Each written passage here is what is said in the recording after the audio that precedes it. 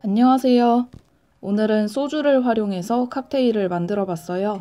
사실 홈텐딩을 서서히 시작하면서부터는 가끔 소맥만 주로 마셨었는데 오늘은 오랜만에 여러 재료들을 더해서 소주 칵테일을 만들어 보려고 해요.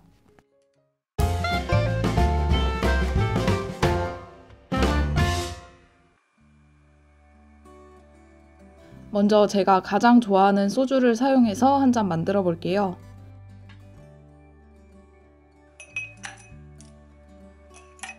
잔에 얼음을 넣고 한라산 1온즈와 토닉워터 3온즈를 넣어줍니다. 술과 토닉워터를 1대1의 비율로 섞기도 하는데 저는 1대2에서 1대3 정도가 적당한 것 같아서 이렇게 넣었어요.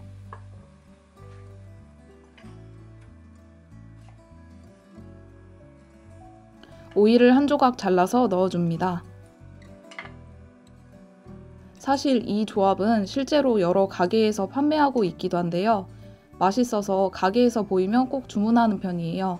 밖에서 먹으면 보통 피처에 한 병을 단위로 만들어서 판매하는데 저는 혼자 마실 거라 오늘은 잔으로 만들어 봤어요.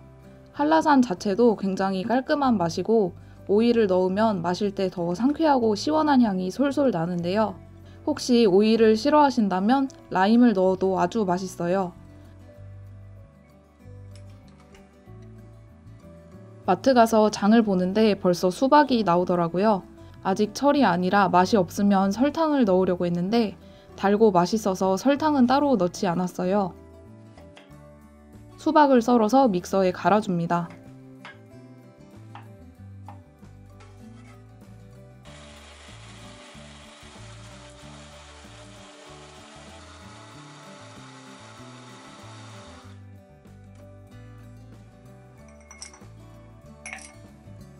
얼음을 넣은 잔에 소주 1.5온즈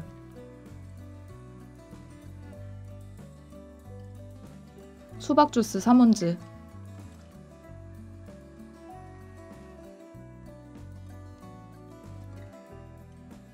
사이다 1온즈를 넣어줍니다.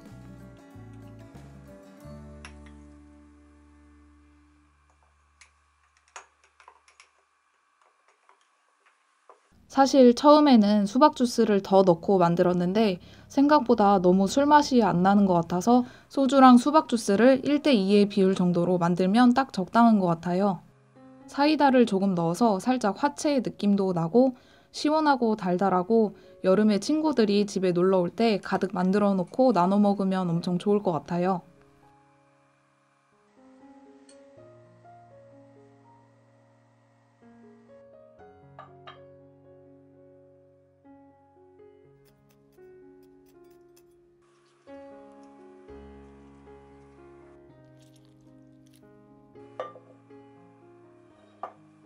쉐이커에 얼음과 소주 1온즈, 레몬즙 반개 분량, 설탕 2티스푼,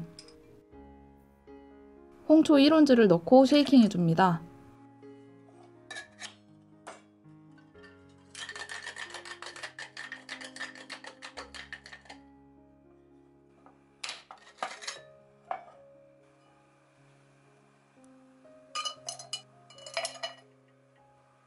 얼음을 넣은 잔에 홍초 0.5온즈를 넣고 쉐이킹 해둔 소주를 부어줍니다.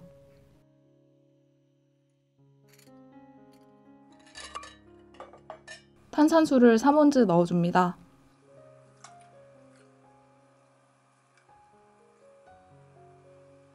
사실 그냥 홍초와 소주를 섞는 방법도 있는데요. 좀 더 맛있게 만들어 보고 싶어서 다른 재료도 추가해 봤어요. 홍초가 워낙 향이 강해서 많이 넣진 않았는데도 홍초 특유의 약간 꾸릿한 향이 좀 맴돌고 향이 강한 데 비해서 맛은 적당히 새콤 달달하고 깔끔해요. 사실 저는 홍초 향을 별로 좋아하지는 않아서 향만 빼면 홍초와 다른 재료들이 잘 어우러지는 적절한 맛이었어요.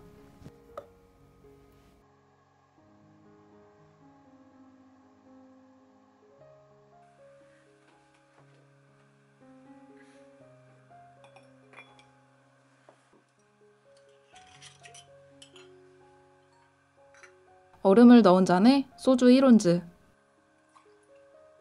자몽 주스 2온즈,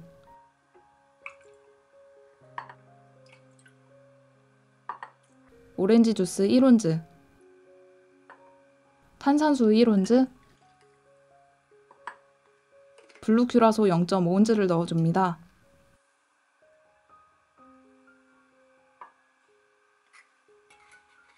보통 소주와 주스를 섞어서 먹는 레시피가 많길래 저는 오렌지 주스와 자몽 주스를 섞어서 만들어 봤어요. 주스가 많이 들어가서 소주 맛은 거의 나지 않고 엄청 새콤하고 달달해서 가볍게 먹기 좋은 맛이었어요. 뭔가 색이 밋밋할 것 같아서 blue curaçao를 넣어봤는데 생각보다 잘 어울리더라고요.